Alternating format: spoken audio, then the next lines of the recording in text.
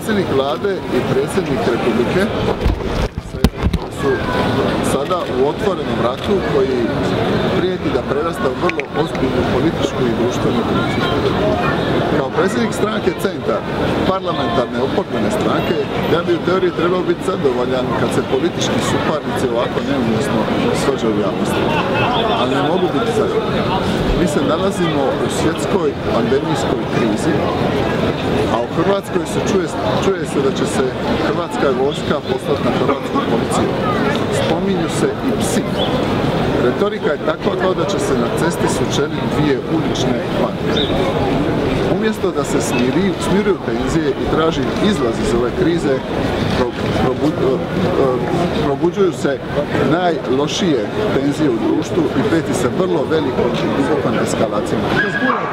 Predsjednik vlade i predsjednik države su nezaobilazni i najvažniji ljudi koji bi se trebali baviti time kako da smanji tenzije, a oni potpiruju i doljevaju ulje na vatru, ne pazeći kako će to posljedice proizvati za cijelu društvo.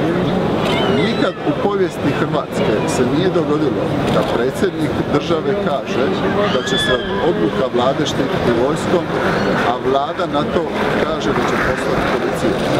Dva brda kažu da će puškaju vojsku na policiju i kažu da će se hrvatska vojska sukobiti sa hrvatskom policijom. Situaciji kada ekstremisti na raznim prosvjedima prijete odmazdama i spominju izdajnike, umjesto da se smiruje tenzije, tenzije se popiruju. Nije vrijeme za slanje policije na vojsku, niti je to ikad bilo. Vrijeme je za razum. Vrijeme je za odgovornost i vrijeme je za dijalog.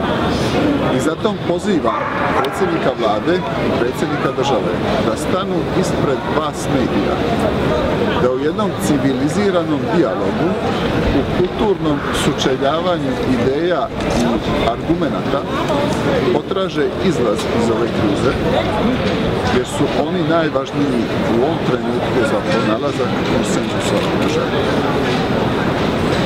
Naravno, pitate se tko sam ja da pozivam predsjednika vlade i predsjednika države na tako nešto, a nije važno tko sam ja, važno je tko su oni ja, ih pozivam da pokažu svoju važnost i da u jednom civiliziranom, kulturnom dijalogu bez strastnih podbadanja potraže izlaz iz ove krize jer u protivno se može dogoditi da na cijelo društvo upadne u vrlo ozbiljnu i duboku političku i društvenu krizu.